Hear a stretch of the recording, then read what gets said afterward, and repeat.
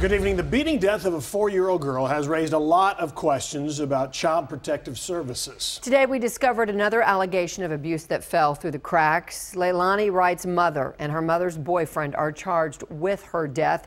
The child's grandparents long suspected she was being abused. Well, now we've learned CPS had yet another chance to step in and prevent the Grand Prairie girl's death. First, here on Fox 4 News at 6, Lori Brown is live in Grand Prairie with the latest developments. Lori. Heather, we discovered there was another allegation of abuse more than a month before Leiliana's death, and a source close to the investigation tells me that a special investigator recommended that she be seen by a medical professional for alleged sexual abuse.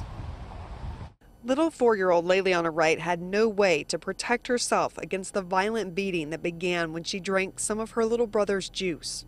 I said, You understand, Poopa's going to protect you.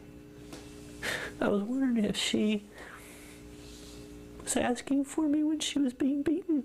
Now we're learning more about how the system designed to protect children like Leiliana failed.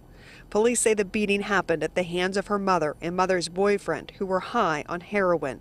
According to police records, she was tied in a closet and ultimately died after being thrown against a wall. Now we're discovering CPS had more than one bright flag of abuse. Our source says a special investigator was assigned to look into suspected sexual abuse by another boyfriend of the mother. While the investigator did not recommend immediate removal, we're told he made a referral to the CPS caseworker to have Leiliana evaluated at a clinic that performs sexual assault exams. That was on February 11th.